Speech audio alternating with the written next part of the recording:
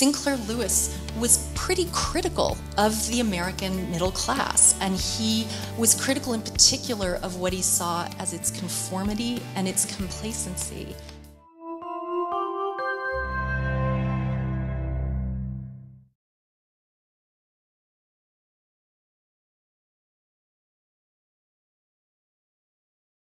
Um, thank you very much for coming to our uh, the first event in our um, uh, grant-funded series, uh, California Reads, um, Searching for Democracy.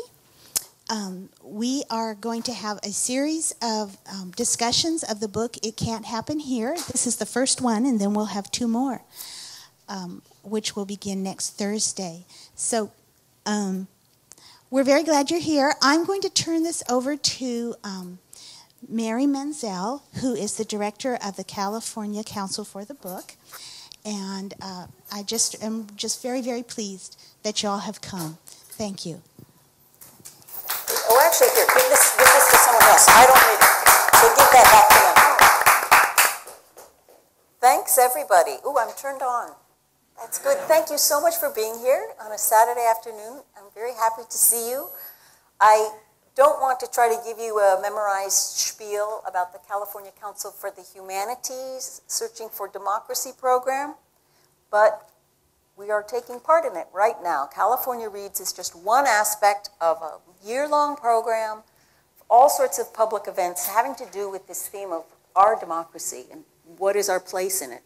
So I would encourage you on the way out, if you haven't already picked up a Cal Humanities newsletter or one of the one page descriptions of the Searching for Democracy initiative, please do so. We have a lot of exciting things going on. And we're so pleased that you in Riverside County are taking part in California Reads. Today's format is going to be a conversation between me and Dr. Catherine Jurca, and we are going to have a generous amount of time for your questions at the end, and we'll be passing around a microphone so that you have to talk into the microphone to ask a question because we are taping this, as you can see, and this is going to be available on our website to people who aren't lucky enough to be here today in person. Dr. Catherine Jurca is a professor of English in the Division of Humanities and Social Sciences at Caltech. She has published extensively on 20th century American literature, suburban and urban studies, and Hollywood film. She's the author of White Diaspora, the suburb and the 20th century novel, and her new book, published this week, is Hollywood 1938 Motion Picture's Greatest Year, which is a history of the American film industry's first organized PR campaign. And that leads me into my first thing I want to ask Dr. Jurca about, because I believe that Hollywood 1938 includes a discussion of how Hollywood turned at the end of the 1930s to more democratic themes or, or less, um, well, or more accessible programs. Can you talk a little bit about Hollywood 1938? Surely. It's pretty fresh in my mind. Uh, so, uh, in, in 1938, there's a recession. We're in the middle of the Great Depression. Things have gotten a little bit better starting in 1936. In 1937 and 38, things start to fall apart again.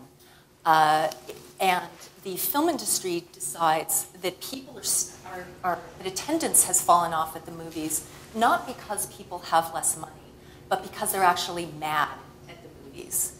Um, there's been a lot of bad publicity, there's been some bad films produced, and basically they decide that theater goers no longer find that, the investment in the price ticket is worthwhile. They just want to stay away from movies. So they launched this kind of crazy public relations campaign. It's thrown together in a hurry. It ends up being seen as a pretty widespread failure. Uh, and uh, the, the, slogan for the campaign was uh, Motion Pictures Are Your Best Entertainment. And given that the film industry saw its entire mission as providing entertainment for a mass audience, the fact that they had to promote that was already an admission of failure. It was basically telling audiences, it, it was basically admitting to audiences that movies no longer make a sufficient case for their own entertainment value. And uh, they, they uh, they coordinated 94 films with the launch of this public relations campaign. These films were supposed to prove to audiences that motion pictures were their best entertainment. By the end of the year, though, when the campaign was over, oh, yeah, is my moving around too much? Sorry.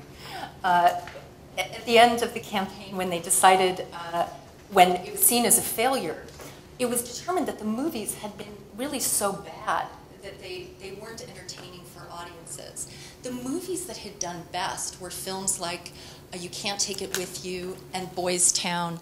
And these films were seen as not being just about entertainment, but as also providing social messages, in particular Boys Town, which was really, in some respects, a kind of lesson in democracy. It's a town, an orphanage that's run for boys, but governed by the boys themselves. And, um, and so critics began to think what the campaign had proved was that people wanted more than entertainment from their movies. They wanted films that engaged with social themes, uh, events that were going on in the world. Hollywood had really studiously avoided dealing seriously with the Depression, um, tackling international events because they were afraid of both alienating uh, international markets but also offending groups at home. And so, for example, the, the film uh, It Can't Happen Here was supposed to be made. MGM bought the rights to the novel before it had even come out, but very shortly they dropped plans to make the project. And this had to do with a couple of factors. Uh, one was the fact that the film, if it were made, would likely be boycotted in Germany and Italy and perhaps other countries. And they might be so angry that they would boycott MGM films in general. Um, but also, uh, the, the film industry was so timid about what they could do in terms of representing violence on film, and, and they were very hesitant about representing explicitly political themes. And one of the uh, kind of astonishing features in rereading It Can't Happen Here is what a violent novel it is. It's not gratuitously violent, but it's, it's bent on showing the um, the effects of a fascist regime on um, a democratic citizenry.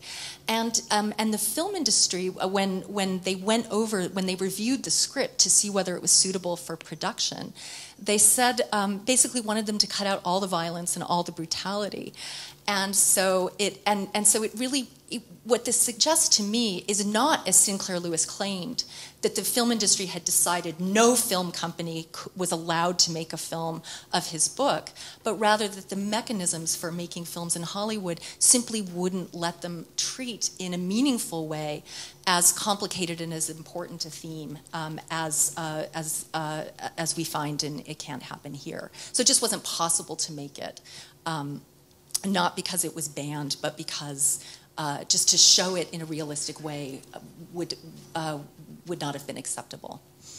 And it was, uh, this novel is much more openly political than earlier books. What are some of his other best known books that probably had already been successfully adapted to film by that time. Yeah, a lot of movies were made uh, from Sinclair Lewis's novels, both silent films and, and talkies.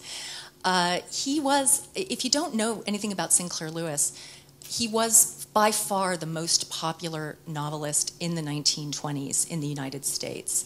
Uh, he was also just about the most influential, and his stature as a novelist was cemented in 1930 when he became the first American to win the Nobel Prize for Literature. And his, his novels are, are his early novels are, are extremely delightful. Um, Main Street was one of the most sensational events in the history of publishing. Uh, he, uh, he attacked the provincialism of American small town life. Uh, in Babbitt, he criticized the uh, consumer culture of the suburbs, and he even gave the English language a new word, Babbitt, in order to describe a certain kind of smug and conventional businessman, but one who, underneath it all, is really pretty dissatisfied with his life, but he's both too comfortable and too afraid to really do anything to buck the status quo. And if you're seeing a theme here, it's that Sinclair Lewis was pretty critical of the American middle class, and he was critical in particular of what he saw as its conformity and its complacency. And, uh, and this was not an unusual criticism to make. Um, intellectuals were uh, quick to point out that America had achieved a great deal in terms of material advancements. We had fantastic indoor plumbing. Our cars were, you know, the, the pride of the world. Um, but our spiritual and cultural life really hadn't kept up with the material advances. What was different about Lewis is that people were actually interested in his criticisms. He made people want to read them. He, his novels are so entertaining. That he has had such a great ear for the American vernacular. Um, he created these wonderfully robust characters. Um, and so, so he made America want to be self conscious about itself. And uh, really, millions of people read these novels that were savage attacks on many of their, of their readers. So is this why you were you were saying that Babbitt was a kind of a forerunner to "It Can't Happen here? Is it sort of a logical extension of that dissatisfied yet complacent and materialistic? Well, something something rather different is going on in "It Can't Happen Here." In Babbitt, the consequences of conformity and complacency are the suburban businessman's kind of spiritual malaise. So it doesn't come across as a particularly serious problem. And it can't happen here. The consequences are far more dire. I mean, um, and the way that complacency works in the novel is evident in the title. It can't happen here. This is the mantra that these uh, small town Vermont residents chant to themselves um, to deny sort of the political um, uh, takeover that's going on around them. And they continue to say, it can't happen here, even as they're acknowledging, oh, it is happening here right now to ourselves and our families. And, uh, and so, so, so the, the cost of complacency and conformity is not just spiritual malaise, it's the metaphorical death of democracy. And it's the quite literal death of friends, neighbors, um, and the people that you love um, who end up being slaughtered by, by the, the, not, the fascist regime that, that takes over the government. We were talking about Philip Roth's uh, much more recent book, The Plot Against America, which has another take on it could happen here. The wrong people could get in charge of us with our own, in our own, uh, we will make our own problem because we won't be alert to people who are bringing out the worst in us, who are appealing to our worst impulses. And I think a lot of us enjoy reading dystopian fiction of many kinds, and then there, there are a lot of thrillers like What If Hitler Had Won uh, World War II?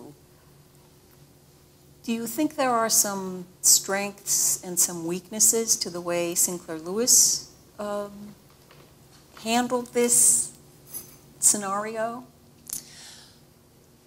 It is a fairly, I mean, he's dealing with what is felt in the 1930s to be a very urgent problem. And I mean, it's not as though people thought, wow, fascism, that could never happen. I mean, it had happened in Germany, it had happened in Italy. Uh, and there were demagogues who had achieved a surprising amount of political power within the United States. So he, he really sees his mission is to be warning people about what could happen if a demagogue were elected president. So he is, it's a, in many ways a fairly preachy novel. There's a lot of talking at you. Um, and, and somewhat less, uh, less action than uh, than we would like in the first half. Um, later on, though, um, after these complacent and conformist characters end up joining the resistance, they become uh, much more. Uh, they, there's a, lo- a, lot more happens. They're imprisoned. They're sent to concentration camps. They are uh, they are tortured. Um, so it becomes uh, it, it, becomes a, a, page turner at that point, and something that I yes. think is. So, so try it again. If you gave up before you got to about page 120 or so, give it another try. um, is there anything else we need to know about him or about the context of the times in order to really get the book? Well, um, I think one thing that's kind of interesting about um, about Lewis uh, Lewis's life in relation to "It Can't Happen Here" is that he probably would not have written it if he had not been married to one of the most prominent political journalists of the day uh, Dorothy Thompson. Oh, tell us about her. Yeah, she uh, she was the first woman to have a regular newspaper column that dealt with international affairs. In 1931, she interviews Hitler, which is a big deal for an American journalist. And in 1932, she publishes a book, I Saw Hitler, which is a warning to the world about what his rise to power in Germany will mean. And uh, Hitler was not very happy with her characterization, however. Uh, she called him a little man, I think, and, uh, and little men do not like to be told they're little no. men. and, so, and so she had the honor of being the first American journalist to be kicked out of Nazi Germany in 1934. And because Lewis was not primarily a political novelist, I think it was really her expertise her interest in these issues and the kind of conversations that happened in their house as a result of her contacts in the political international um, journalist community that um, helped him to become more interested in the novel. In terms of the domestic situation, I've, I've mentioned fascism in, in Europe. But, um, but the depression and all of the turmoil that it caused was obviously a big factor in the context um, in which Lewis is writing. Uh, people have lost jobs, they've lost houses, they've lost bank accounts. Poverty is rampant. Um, and at this time, there is really no um, safety net to speak of. In fact, Lewis completes It Can't Happen Here in August of 1935. That's the same month in which the Social Security legislation passes. It's a New Deal program, but it's late in the New Deal era. It doesn't start paying out or even um, taking in until 1937. So people are really hurting. And what, what Lewis, what worried Lewis was the idea that people would be willing to elect a strong and charismatic political leader who would um, perhaps want to take some of their rights, but in exchange would promise economic security and stability, which is what people deeply needed in 1935. And one of the chilling things about the novel is that the folksy, plain speaking Buzz Windrip, who becomes the president, he's absolutely clear about his desire to assume dictatorial powers if elected. He runs on a platform in which he promises to make Congress advisory um, and to do the same with the Supreme Court. So there will be no checks and balances of power anymore. We will have an, a, a president with absolute power. And why would people vote for this? Well, because he promises to redistribute wealth he will put uh, limits on personal income and fortunes, and he will basically give, he promises to give basically every person in the US $5,000. I should say this is one of the campaign promises that he does not keep. and lest this sound just completely ridiculous and outlandish, um, this was a proposal that uh, was getting some traction in the mid 1930s. Buzz Windrip is modeled after a real politician, Huey Long, who was the governor of Louisiana and later a U.S. senator. And he was a corrupt politician and ruthlessly consolidated his political power. And um, the, the program that Windrip um, articulates for uh, for uh, redistributing wealth is straight out of Huey Long's playbook, and that's in part why he was uh, a successful politician. Is he was very, uh, very popular with with the poor, and uh, and so so Lewis is uh, is drawing directly from the historical events at the time in drawing this character. And I should say that one thing that I find quite interesting about the novel, and that was a little unusual for the time, is that Huey Long isn't just the model for a character, he also appears in the novel. He's mentioned several times.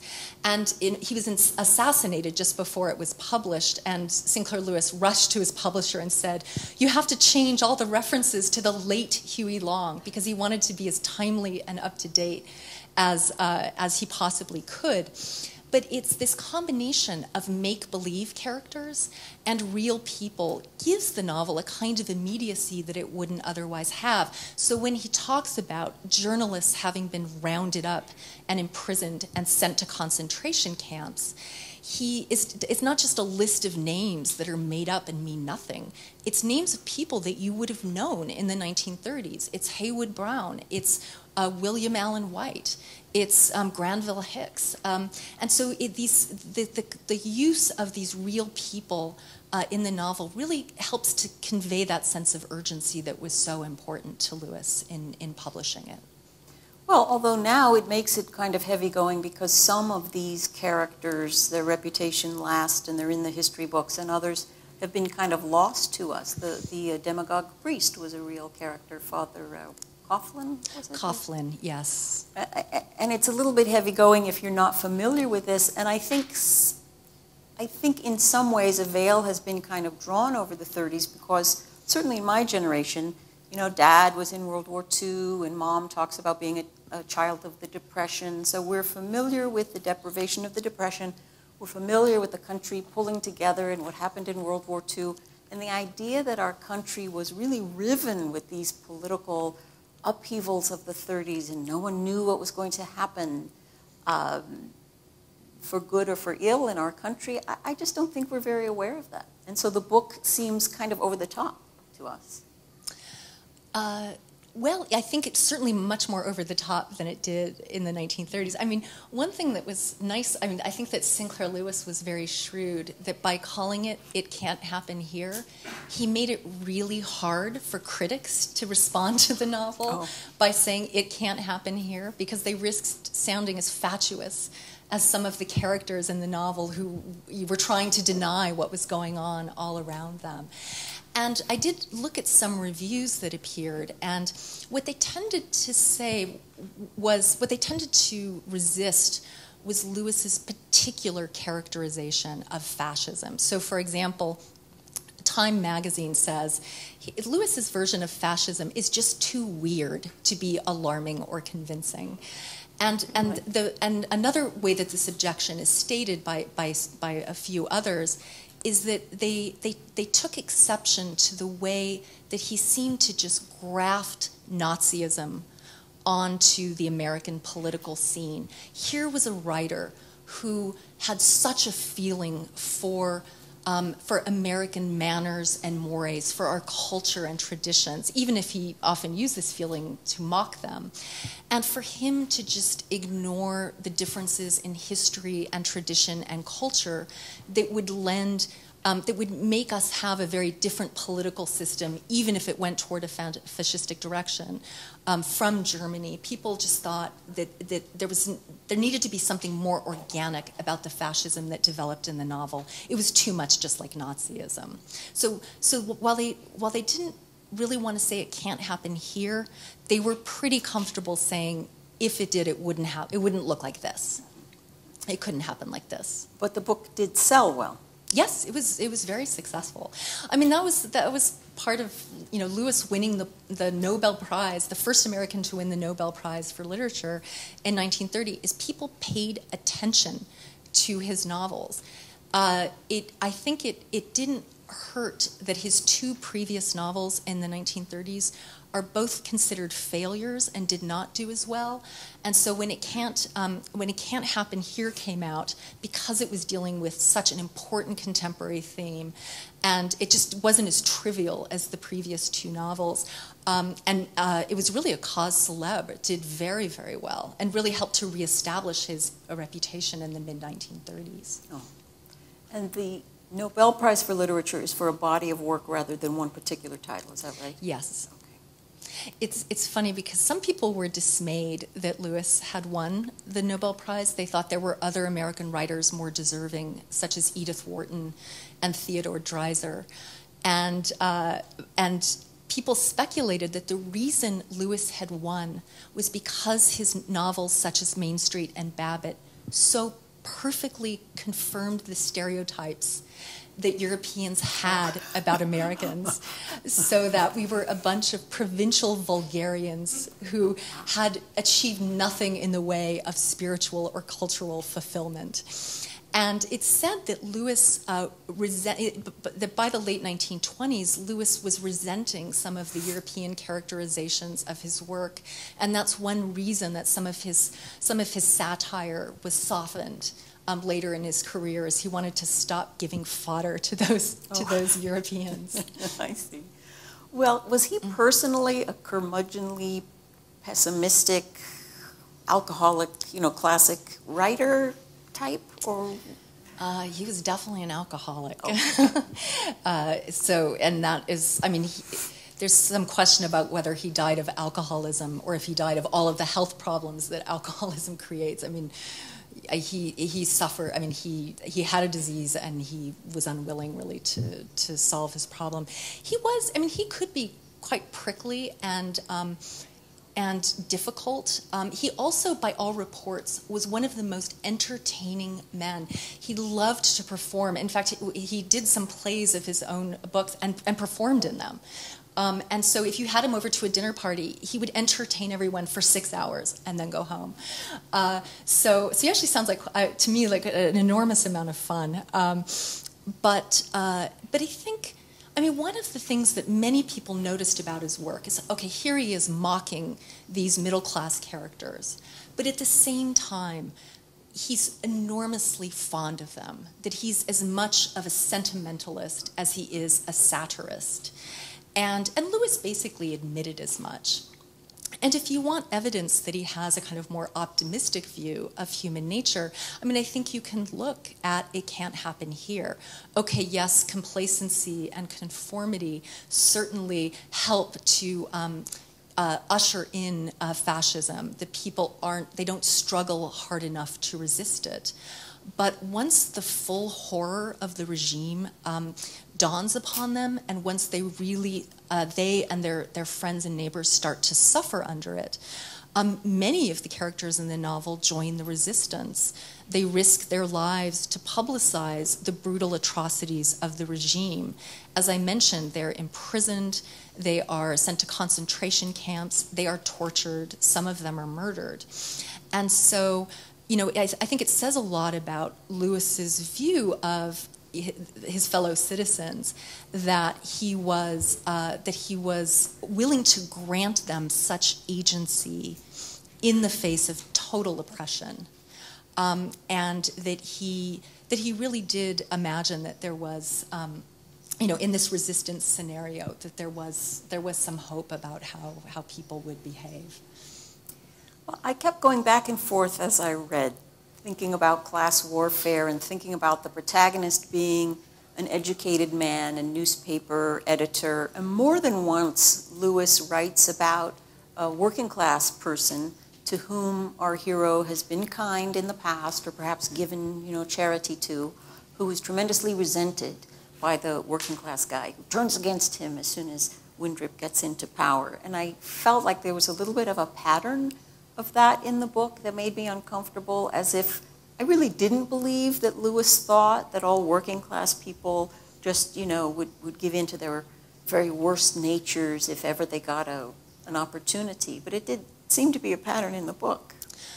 Yeah, I mean, one, one thing, Lewis was very popular in Russia um, he, they liked his attacks on um, petty bourgeois society, although they didn't think he was socially advanced enough to realize that communism was the obvious solution. Well, yes, he missed um, there. Yeah. But um, but one of the things that they did object to was the depiction of labor, and of course the absence of a labor movement in playing any role in the in the resistance. Mm-hmm. I think. I mean, there really is. It, I mean, Lewis, the world that Lewis was comfortable with was the bourgeois world. It was middle class Americans. And so this character, Shad, Shad Ledoux, I think that you're referring to, is portrayed in an incredibly ugly light um, as just selfish and and, and brutal. Um, but I, I don't, I mean, I don't think he's meant to, uh, I don't think he's meant to represent the working class. I think he's meant to represent um, the person that Lewis feared that would be attracted to the demagogue as a solution to particular economic problems. I mean, he's mm-hmm. one of those people who's really excited about that five thousand dollars uh, that he's that he's going to, going to get. And I should say that Lewis, he was very his political ideals were pretty vague um, in general, but uh, but he uh, but he was a very left leaning person, um, and so um, the way he talks about the persecution of blacks under the Windrip regime, the way he talks about anti Semitism in the novel, I mean, you can definitely see a very liberal consciousness mm-hmm. at work, even if it's not especially enlightened in relation to that, that working class character. Mm-hmm. Well, and it's true that that working class character never enjoys doing a good day's work. Right. Um, he, he, never has pride in who he is, the way some working class characters in the book do. I mean, right, like those who work in the for the newspaper. You know, there's the printer, um, but they're not presented as a worker in the way that Shad is. Mm-hmm. Um, they're more like the you know the colleagues of of Doremus Jessup. Mm-hmm. He's the hero of the novel, the newspaper editor.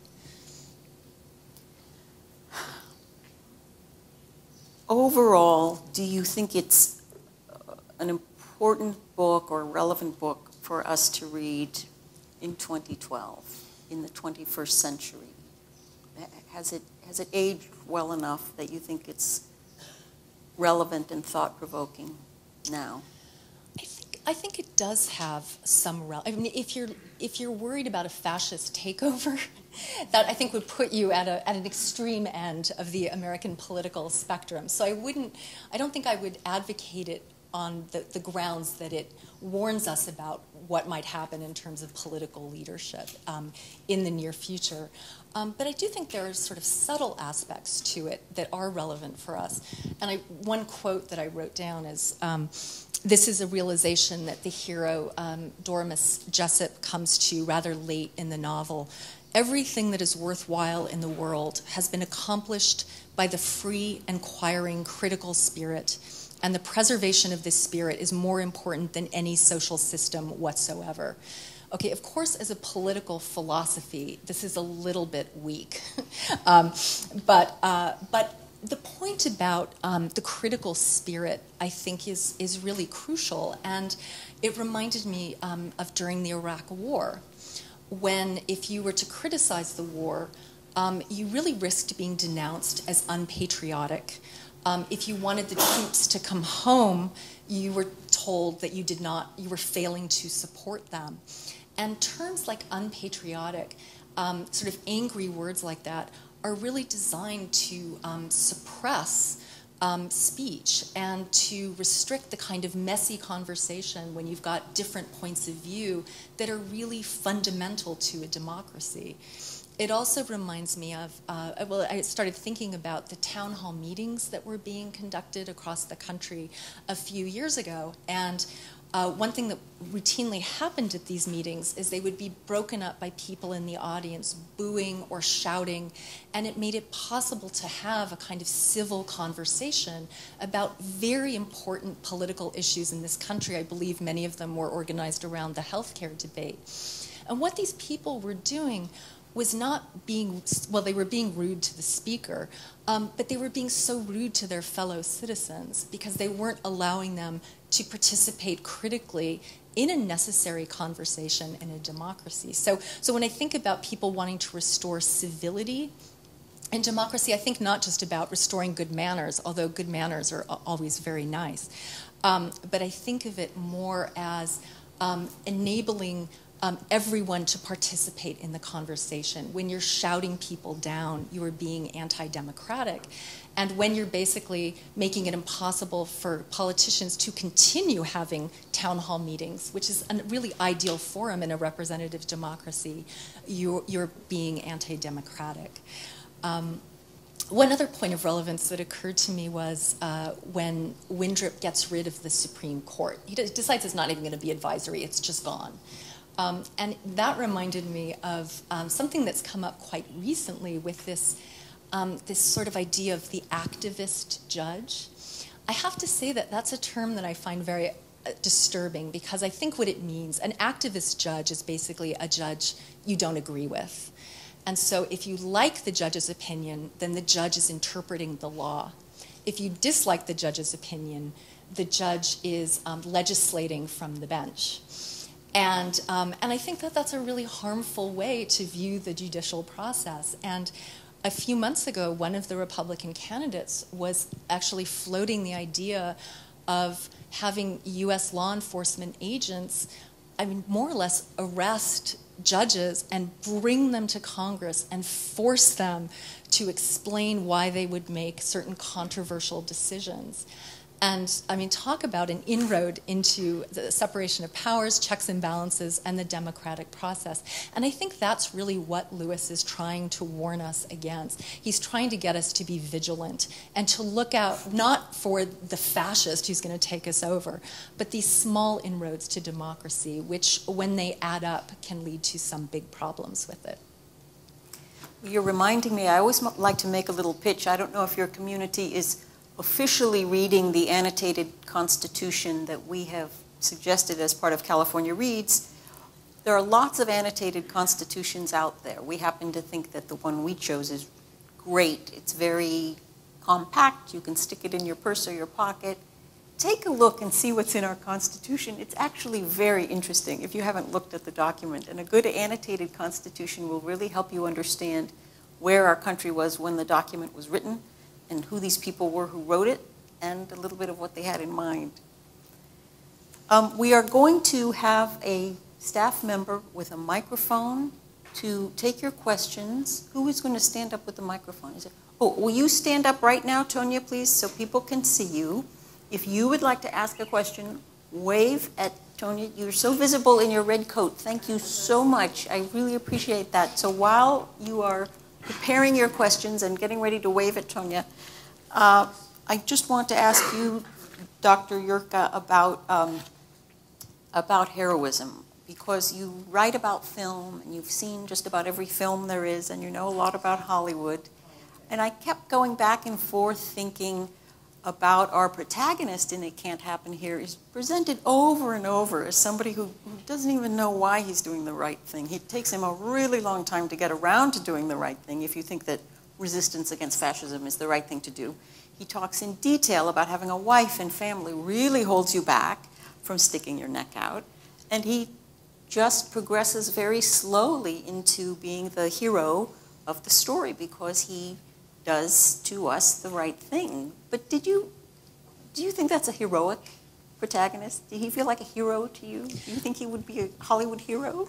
so I'm, I'm really pain adverse. So anyone who risks being tortured, and in fact is tortured and refuses to reveal the people who are complicit in the plot with him, he counts as a hero for me.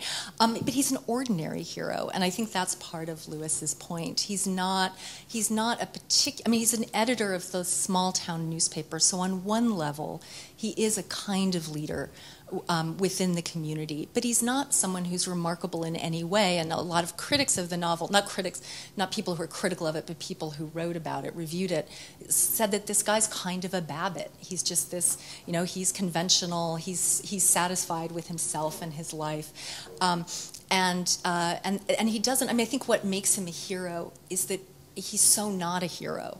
Um, and what he does is so beyond anything he could have imagined um, him possibly achieving. I mean, he's, he refuses to make those sacrifices for a long time, and then he finally realizes that it's only through the efforts of ordinary citizens who are going to take these risks that anything will ever change and they will ever get their democracy back. So, so I, I do find, I find him much more persuasive as a hero than the superheroes and the people who just are you know born to born to be heroes because it's he's more relatable because I think he is that that quality of enjoying his family liking running a newspaper you know just being satisfied with his life is more like we are than the people who you know may seem more um, more objectively heroic in in the conventional sense of that term. I think it's always good to remember that courage doesn't mean that you don't feel fear. You know, courage means that you're terrified and you do it anyway because mm-hmm. it's the right thing to and do. And that's certainly that's certainly his case. Oh yeah. Yeah. Oh, yeah. All right, let's see some hands. Let's hear some questions. Yes, Octonia is coming up on you right now.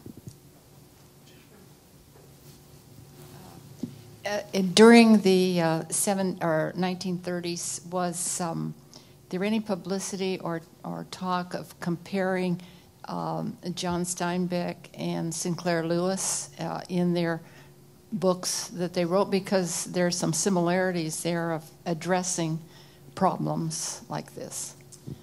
Um, you know, I, that's an excellent question. I, I, I, don't know the answer to that. Uh, I would say that this novel is a is more characteristic of the kind of concerns that a Steinbeck would show than many of Lewis's other novels. I mean, Lewis was a satirist, so he wrote these satires and he exaggerated as a way of trying to get at some kind of truth. Steinbeck was not in his satire was not his his his his medium. I mean, he wrote um, very hard hitting, compelling uh, dramas. I mean, I, I do think, you know, the, the Grapes of Wrath is one of the great, it's not just one of the great novels of the Depression, it's one of the great social documents. And in, to that extent, I think Steinbeck and Lewis do have something, something in common because, I mean, Lewis's force as a novelist wasn't so much as a literary figure, it, it, was as a sociologist, but a sociologist who kind of made stuff up too. Whereas, you know, the documentation that's involved in, uh, in, in a novel like The Grapes of Wrath. Lewis did, he, he also did research, like Steinbeck did, because he wanted to learn something about the, whatever, um, you know, whatever milieu he was going to be um, tackling in his next novel.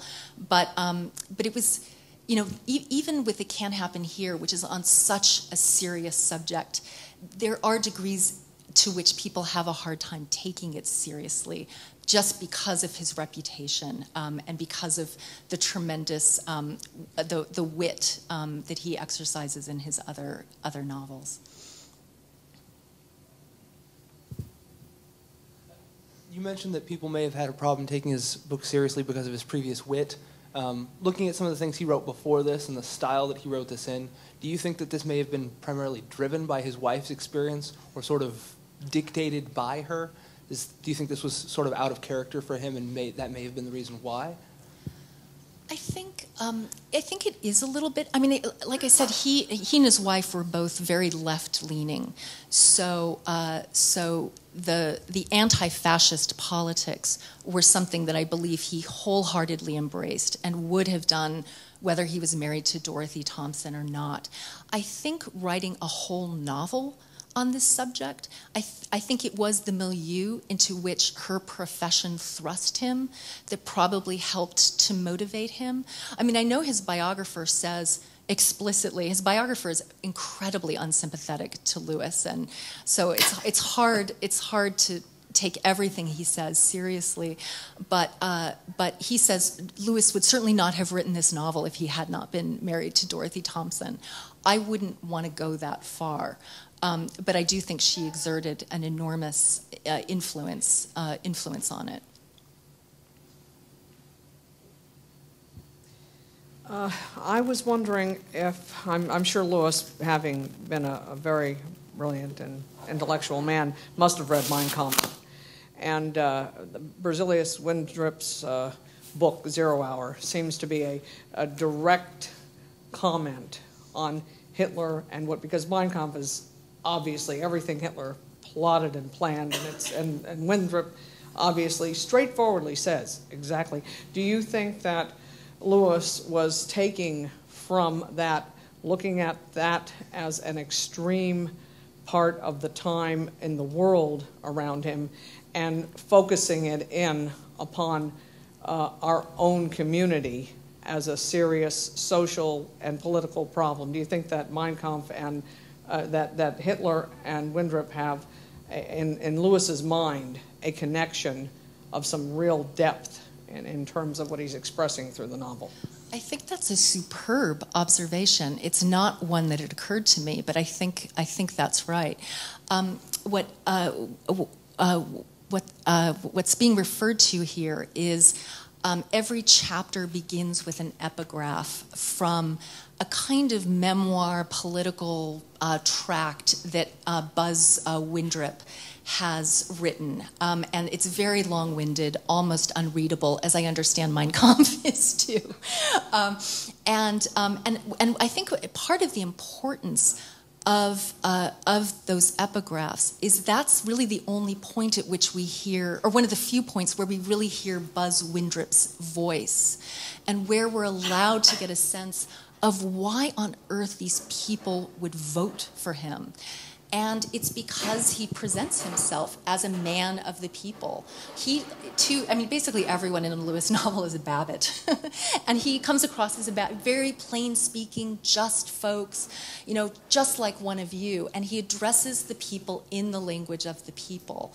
And I think that's all, I mean, you know, the I, think Lewis was worried about these demagogues who were coming up as populist leaders through this um, pitch to being just like the constituencies um, they wanted to vote for them.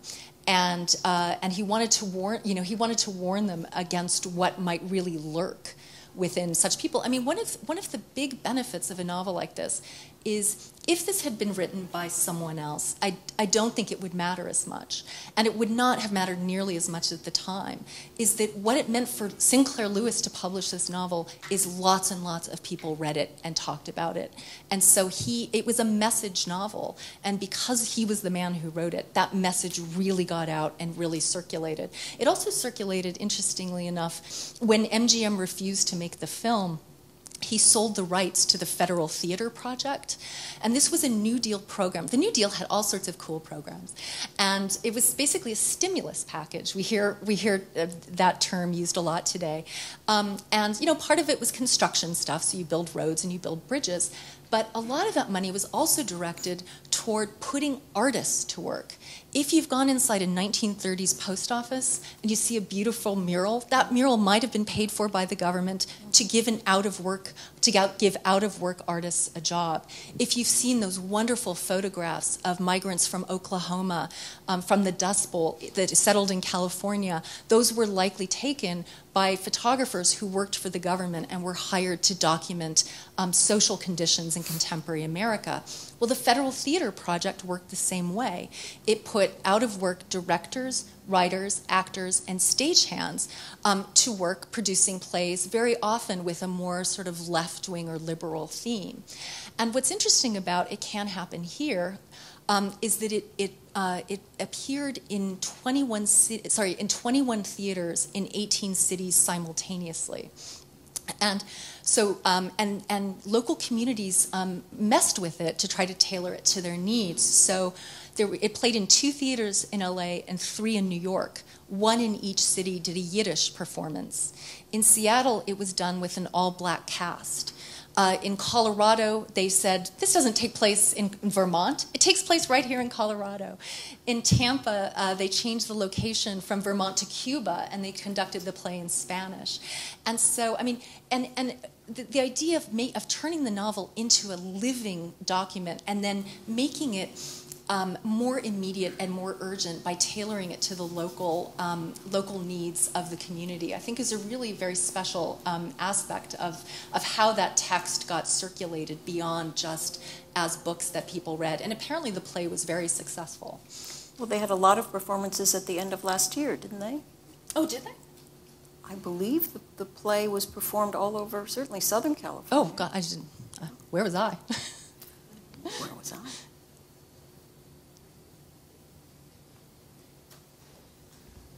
You mentioned that the uh, the program that was being done by the government had a lot of uh, liberal and, and, kind of left wing uh, stage productions, and that him and his wife both shared a lot of liberal ideas.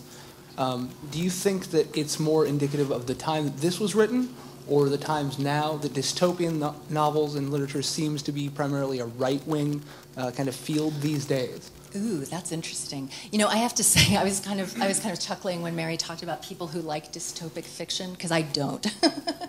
um, but um, I mean, certainly, uh, I think that uh, Ray Bradbury's Fahrenheit 451 would fall into the more liberal, um, liberal camp. And I, I can't speak to the contemporary scene, but certainly, I mean, even the, the fact that I'm using the word liberal, liberal, liberal so freely, I mean, in a lot of circles, the word liberal is a bad word. It was not in the 1930s. I mean, that, you know, the Depression really um, made a kind of left wing politics much more viable, much more possible. And I should say that even though I've been touting um, Lewis as, as, a, as a liberal and as being left wing, um, it's worth mentioning that he uh, he's pretty anti-communist, and it can't happen here. Doremus Jessup keeps flirting with the idea, and then he decides, no way, I can't go for this communism stuff because it would mean that I wouldn't be able to say what I wanted, and I couldn't have a private bedroom. And that's Lewis. I mean, that's that's Lewis. You know, sort of saying something serious, but you know, with a joke, um, kind of worked into it. So yes, you take it seriously, but at the same time, you know, there's that kind of distancing mechanism as well. So, so his was a liberal. I mean, he was, you know, pr- uh, he was anti-racist, anti-fascist, anti-communist. Also in, anti-capitalist. Um, I mean, he makes it clear that the reason fascism is allowed to flourish is not just because the Doremus Jessups aren't willing to protest and fight against it enough, but is because of big business. The big business is the only one is the only group, aside from the, a few politicians and the militia that um, that support them a big business is really the only group that does well under. Um, so, and that's that's a, a, criticism a lot of people make of Lewis. Okay, okay, capitalism's out, or at least capitalism in its current form out. Communism out, mm-hmm. fascism out. what, what's left? And there's really not, I mean, he, he doesn't articulate the positive values or the positive form of government that he would have as an alternative. He's great at tearing things down, he has a harder time proposing solutions.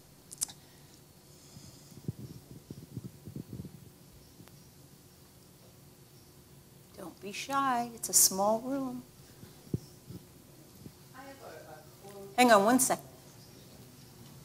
I have a quote that um, comes to mind when we talk about this subject, and it's a quote that I came across and in uh, recently.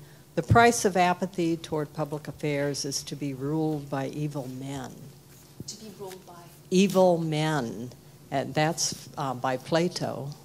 So the, our concern about um, things going awry is, is not new. But I, I still feel, I'm not an alarmist, but I think we need to vigilantly watch what's going on. And because of um, something like uh, what's portrayed and It Can't Happen Here, could happen. If, and the way to move people over to your point of view is to move them an inch at a time.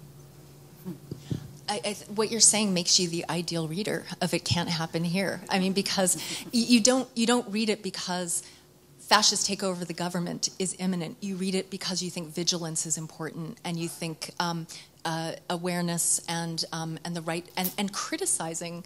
You know, when when someone when your government does something wrong. I mean, you know, criticism is when it's denounced as unpatriotic you know the way i think about it is no like these are people who love their country enough to try to hold it up to its highest ideals of itself. So, so I suggest you read the book if you haven't already.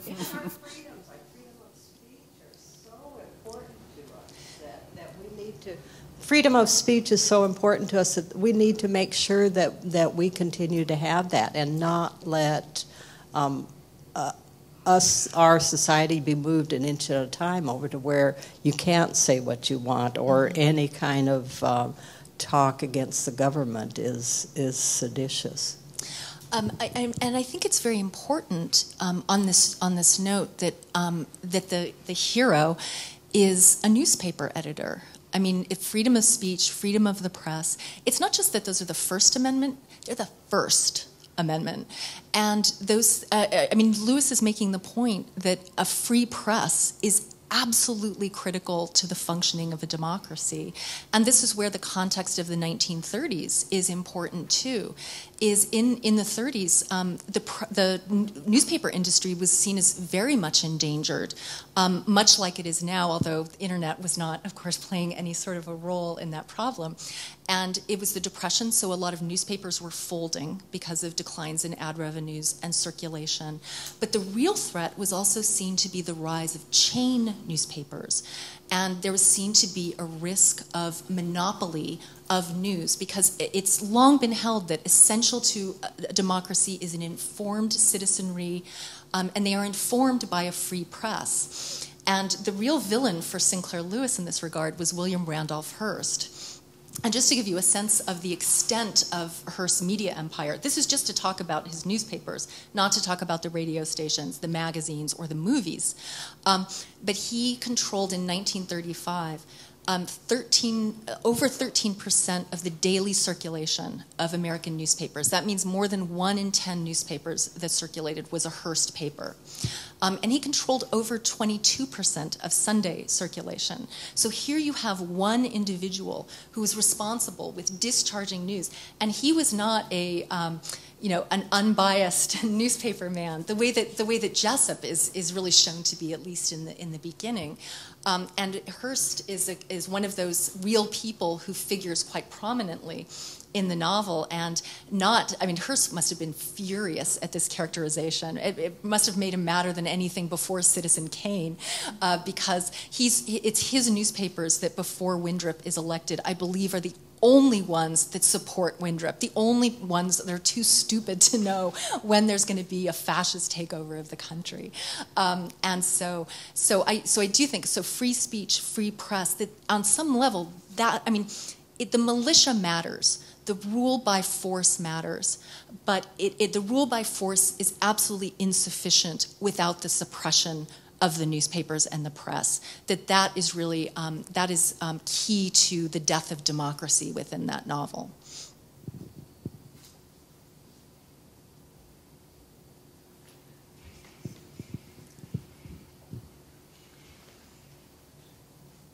Yeah, this is uh, kind of speculative, but um, do you think that a writer writing today could have the same kind of impact um, the same kind of effect on shaping um, public perceptions and influencing the way people think about um, social reality that um, that he had back at that time?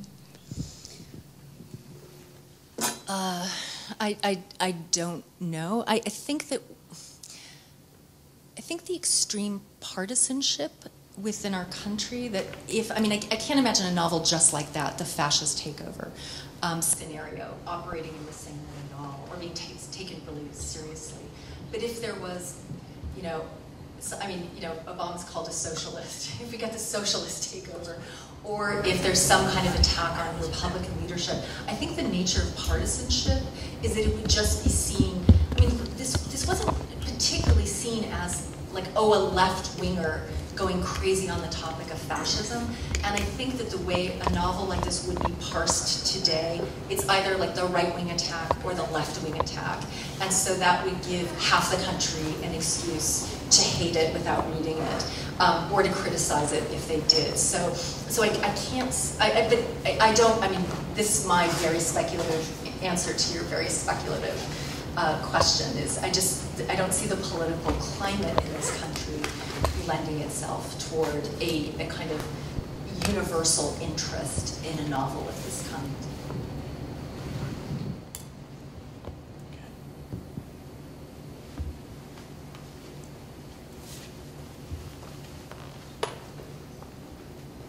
I would just like to comment that um, the way our government is set up, that with the different branches of government, when you talk about partisanship, our government was never intended to make it easy to make big changes.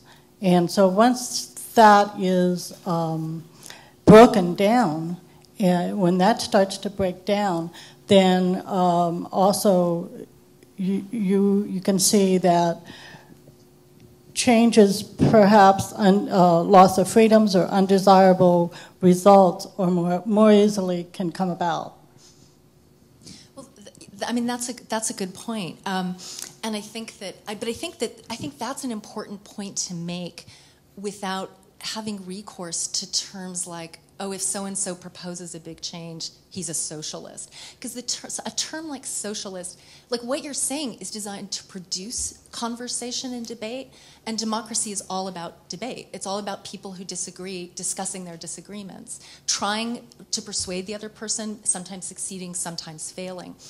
Um, these terms like unpatriotic and socialist they're not designed to produce debate. I think they're really designed to shut it down. And so that's the problem that I have. I have with those with with the kinds of labels that people um, produce um, that are trying to pretend like they're really confronting the issue, but are just they don't want to discuss it. End of end of story. A couple of times you've referred to democracy as messy. It is messy. It is messy. is it supposed to be messy? Uh, Why is it messy? It's messy because of uh, because people don't agree. Um, people don't agree. People don't even agree on what a democracy should be. Um, but you know, whether you have a two-party system or not, there are people who have um, different ideas that come into conflict, and so uh, so it's. Uh, I, I, mean, I think disagreement passions run high. Um, people are not, people argue from emotion as well as reason. So I think there's a, a messiness to the logic of it in, in, uh, at times in discussions. But, um, but I think, you know, it's, it's what we have is a blueprint for how things work, but not, and, and a kind of set of rules that allow for enormous interpretations within those rules. And whenever you're doing interpretive work, people disagree and it gets messy. I say this as someone who interprets text for a living. Nothing's, nothing as tricky as the Constitution, though, I'll tell you.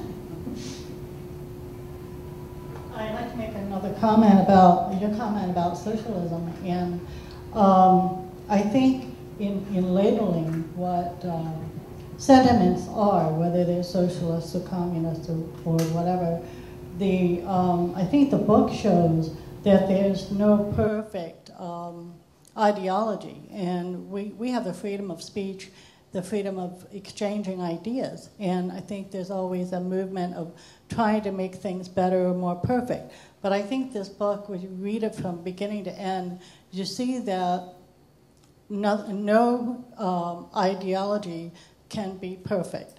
Uh, and the behavior of human behavior um, is not necessarily better because of the ideological changes.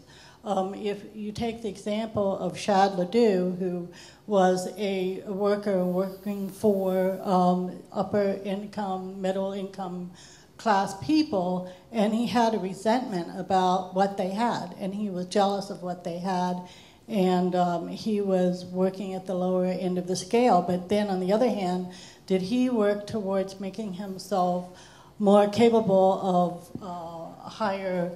Income levels, for example.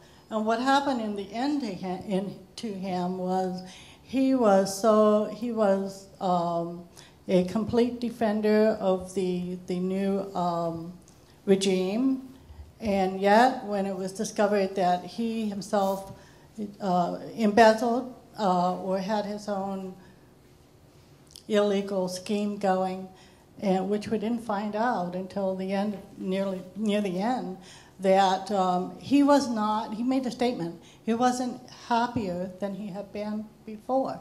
In addition to that, he uh, became greedy in his position and it was his downfall. So the new ideology did not change the human person for the better. No, no, that's a that's a great a great point. Um, and uh, and the the moment that you refer to where I mean, he's just, he's this incredibly brutal character. I mean, Lewis has no sympathy for him whatsoever. You would you would agree. Um, he's yes, he's he works for Doremus's family. They treat him very well, but he just refuses to work. I mean, he's going around just trying to convince people to elect Buzz Windrip, and Doremus notes that he's doing it on his time. you know, he's, he's paying him to work, and he's off, you know, politicking. But Doremus is also weak. He's too weak to fire him, and then eventually he does. But you know, by then, Shad already has a place in the new in the new regime. But he he goes on to reflect you know, oh, I thought, you know, I thought all this power would make me happy, but it really doesn't. I'm lonely. And again, that's the Sinclair Lewis sort of sentimentalization of, of the problem. It's both a kind of human element to a, a, novel that's where people are often politics. Um, so it's, it's, a, it's an eruption of some kind of humanity within, within Shad. Um, but it's also um, it's also such a strange thing to focus on, given you know all of the brutality that's going on um, that's going on within the novel. But the, the Corpos, which is the name of the regime, certainly doesn't make him a better person. He is the kind of person that the Corpos preys upon because that's their market, that's their constituency. He wants, he doesn't want to be a laborer anymore. He wants his $5,000. So he starts out lazy and selfish, and he kind of ends up lazy and selfish. And then he's actually murdered by, um, by people in, in the resistance when he's imprisoned with, with them. And it is this, and it's this kind of contradictory moment because it's, it's not a political action at that point. It's just revenge, as this person has done so many horrible things. That's also a human moment in this text. This, I mean, he's, he's killed people that these people love and you know that they, they can't just put personal feelings aside and be political and let justice run its course um, and so there are these, you know, despite the kind of the way that people are often ideology or people are politics, there are these human moments, um, these truly human moments, and very unattractive human moments that come into the, the novel as well. I guess we should have said spoiler alert if you haven't finished the book. It's not. It's not. A, that's. It's, that's not a big deal.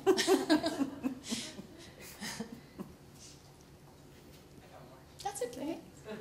Um, taking the uh, example of the First Amendment being used to inform people about what's what was going on in Vietnam, um, and then 1984, which is this very, very far-looking cautionary tale. Do you think that um, It Can't Happen Here was posed more as an informative statement about the fascist regime in Germany, or more as a kind of far cautionary tale of like, this is how bad fascism would be here? Uh, do you think it really informed people as to the events in Germany? No, because you recognized you, you need to know something about Nazism to recognize. I mean, the, to recognize the Nazism. I think within um, within It Can't Happen Here. So, for example, the militia are known as the Minutemen, which is a, a great name for them because it both suggests this patriotic past, but also they get to be the MM, like the SS in Germany. So if you didn't know about the SS, you know, you wouldn't really know about that. I think, I mean, Lewis was a satirist, and what you do as a satirist is you exaggerate to get at something true. And I think that what Lewis wanted to do with this novel was to dramatize in as extreme a way as possible the unforeseeable consequences that might attend the election of a demagogue to the presidency. That he was really confronting um, a, a problem that was real and if not imminent, at least within the realm of possibility. I mean, before Huey Long was assassinated in 1935, he had presidential aspirations. He was planning a run for the presidency against Roosevelt in 1936. In fact, there, there's, it's, there've been there's there's a like some people think that one of the reasons that social security legislation got passed that some of these social programs was as a more moderate version of the kind of wealth distribution. It was a response to huey long's popularity. So i think I, I think it i think nazi germany gave lewis a lot of fodder for the novel but he was um, but his his platform was was in some ways smaller. It's like you know you, you have no idea what will happen if you elect a demagogue. And here's, one, here's the worst case scenario. We have time for one more question. Does anyone have a question who hasn't asked one yet? Does anyone want to complain about the book? complain about me. um, I, I was also thinking, in addition to that, is not only was he he showing us the results of electing this person, but also in the end, it was how difficult the way back to make another major change to, in, the, in the politics of the country to change the living conditions that they created. I'm sorry, I missed, I missed part of that. Could you repeat? Is that um, let's see if I can remember. Oh, so, I'm sorry. That's okay. I know the feeling.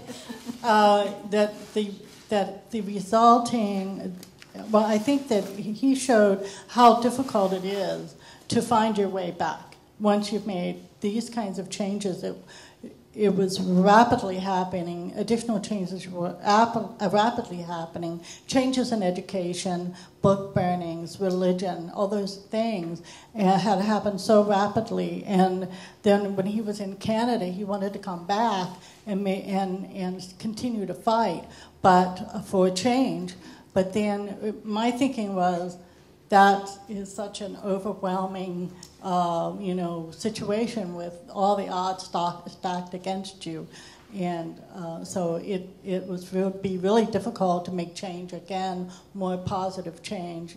In and, and anyway, Well, that's that's absolutely right. I mean, the, the far better than being a hero is simply to be the average citizen who speaks out in a timely way with other average citizens. It's much easier to st- to be vigilant and to take these small steps than to try to put out, you know, the the you know the conflagration that's just consuming the entire country. Absolutely, it's it's a long road um, to get back to where you started from in, in the novel. We have hope, though. Thank you all so much for being with us, and please thank Dr. Jurca.